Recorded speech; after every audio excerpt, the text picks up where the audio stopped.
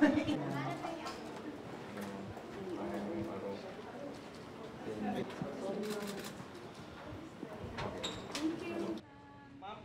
ma'am, please, pwede ba muna kayo? Sandali lang po. Thank you, ma'am. Dito, ma'am. May hawak lang po.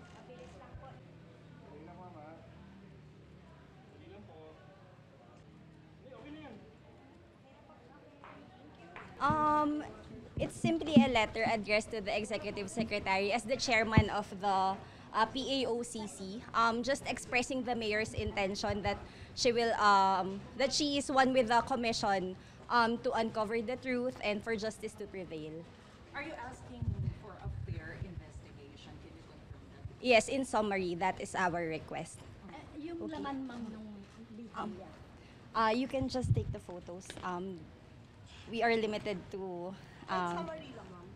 Summary lang. yeah, that's just the summary. Cheese lang ma'am. Yeah, I already. Whatever. You, I just can give you the copy. na lang. And you can share it with us. Attorney, I understand you itemize certain points in, the, in the mayor's position, certain allegations against her. If you can just please give us even just one, two-liners on each of those arguments para lang Ah. ma- namin na maayos.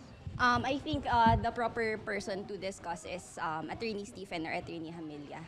But uh, in general, this is an expression of, Ah. the, of the mayor's uh, willingness, willingness and uh, the, the assertion that she is innocent of all, all the Yes, and that she is one with the commission. Yes, she is one with the commission and even the Senate to uncover the truth about these issues. Mm. She's arguing is kidnapping. Ah, But why is there a need for the camp of mayor would ask for a fair trial? Do you feel that the investigation that was unfair? Sorry, but we have to refuse.